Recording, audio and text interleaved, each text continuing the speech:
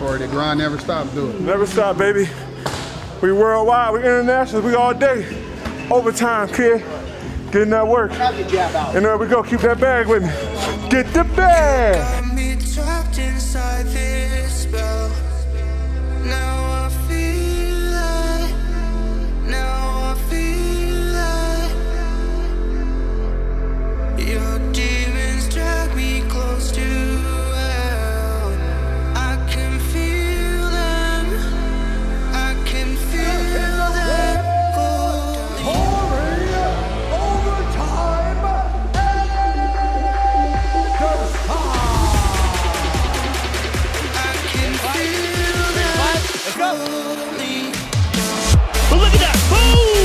Boom! Catches him with that right hand on the temple. Walker tries to fire back. Boom! Corey catches him again and again. Swarms him. One more time. Boom! The right hand over the top. And consistency. What a finish there from Anderson. He just put together a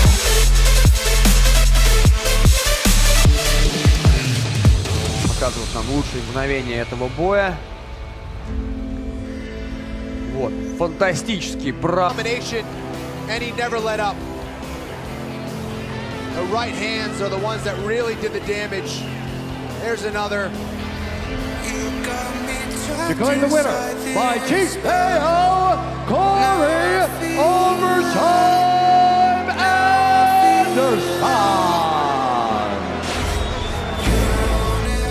Um, but with Corey, we're seeing improvements. I mean, you know, we, we see that he came from a wrestling base, working with Mark Henry, wrestle boxing, transitioning, all that good stuff. But he really stepped up his technique game as far as his boxing, his head movement, even the wrestling, out wrestling a guy who is far credentialed, uh, not far, but more credentialed than him, and Patrick Cummings.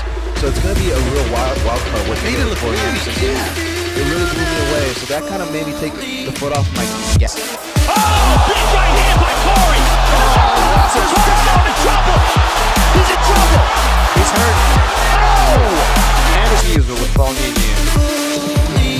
Андерсона. В общем-то, их было предостаточно в этом поединке.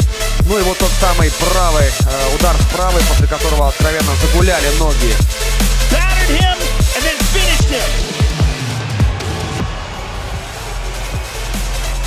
and here's the end of the fight. Bang! Him with that right hand. Referee seen enough, and that's a wrap.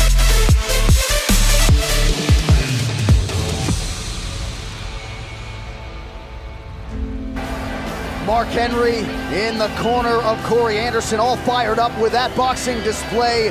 By unanimous decision, Corey Beastin 25 8 Anderson.